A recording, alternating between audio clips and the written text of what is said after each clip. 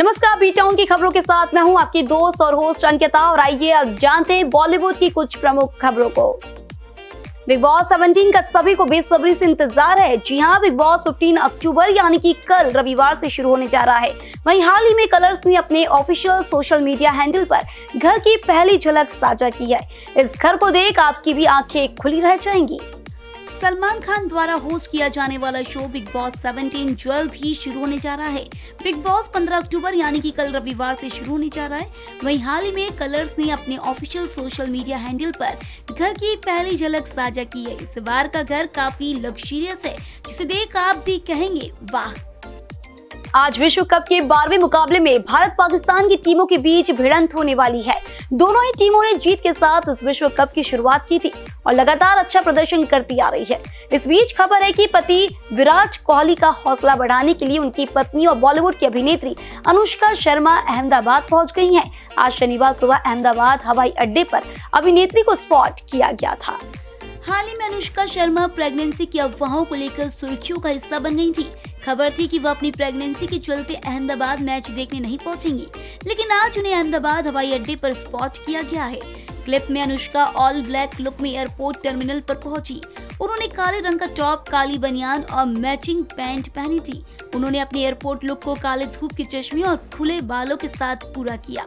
फोटोग्राफरों को पोज दिए बिना वो सीधे अपनी गाड़ी की ओर बढ़ी और निकल गई बॉलीवुड की आइकॉनिक फ़िल्मों में से एक कुछ कुछ होता है। 16 अक्टूबर उन्नीस में रिलीज़ हुई थी। शाहरुख खान, काजोल और रानी मुखर्जी स्टारर इस फ़िल्म को 25 साल पूरे होने जा रहे हैं। करण जौहर की यह directorial debut film box office पर ब्लॉकबस्टर साबित हुई थी। कई अवार्ड समेत इसने आज फ़िल्म फेयर अवार्ड्स भी अपने नाम किए थे। अब फ़िल्म की 25वीं एनिवर्सरी से दो दिन पहले धर्मा प्रोडक्शंस ने फ़िल्म के सेट से behind the scenes photos share किए हैं। इन तस्वीरों में करण जौहर, शाहरुख खान, रानी मुखर्जी, काजोल, अनुपम खेर फराह खान समेत कई स्लैब्स नज़र आ रहे हैं। सलमान खान के साथ फ़िल्म बॉडीगार्ड में स्क्रीन स्पेस शेयर करने वाली एक्ट्रेस हेजल की सुर्खियों में है। लोग उन्हें युवराज सिंह की पत्नी के तौर पर भी जानते हैं। उन्होंने कुछ महीने पहले एक बेटे को जन्म दिया। लाइमलाइट से दूर रहने वाली हेजल इन दिनों सुर्खियों में है। उन्होंने एक ऐसे नेक काम का फैसला लिया है जिससे उनके बेटे को उन पर गर्व है।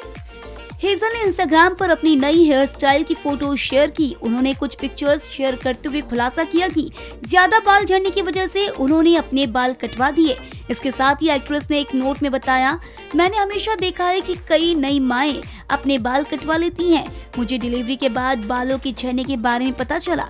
जब आप नन्हे मेहमान के साथ एडजस्ट कर रहे होते हैं तो चीज़ें ऐसी होती हैं, उन्होंने कहा, जब मैंने अपने बाल फिर से छोटे किए तो मैंने फैसला किया कि मैं कैंसर के इलाज से गुजर रहे लोगों के लिए, विग बनाने के लिए अपने बालों को डोनेट करूँगी। मेरे पति ने बताया था कि इस बीमारी में होने वाली कीमोथेरेपी के दौरान, वो अपने सारे बाल आँखों की पलकियों और भोए छड़ते देखते थे तो उनको कैसा महसूस होता था? ग्लोबल स्टार प्रियंका चोपड़ा अपने काम के साथ ही अपनी पर्सनल लाइफ को लेकर भी लाइमलाइट में बनी रहती हैं। जी हाँ, आए दिन वे सोशल मीडिया पर कुछ ना कुछ ऐसा पोस्ट करती हैं, जिसकी वजह से वे लाइमलाइट में आ ही जाती हैं। लेकिन इस बार प्रियंका किसी और वजह से नहीं, बल्कि सोशल मीडिया की वजह से खबरों में है जी हाँ जहाँ देश विदेश के लोग प्रियंका चोपड़ा को पसंद करते हैं और सोशल मीडिया पर फॉलो करते हैं, वहीं ऐसी खबरें आ रही हैं कि गेम्स ऑफ़ थ्रोन्स की स्टार यानी प्रियंका चोपड़ा की जेठानी सोफी टर्नर ने उन्हें सोशल मीडिया से अनफॉलो कर दिया है। दरअसल प्रियंका चोपड़ा के जेठ जो जोनस और सोफी टर्नर से बीच लंबे समय से रिश्ते ठीक नहीं चल रहे थे, जिसके बाद उन्होंने कोर्ट में पिछले महीने तलाक की अर्जी दी थी।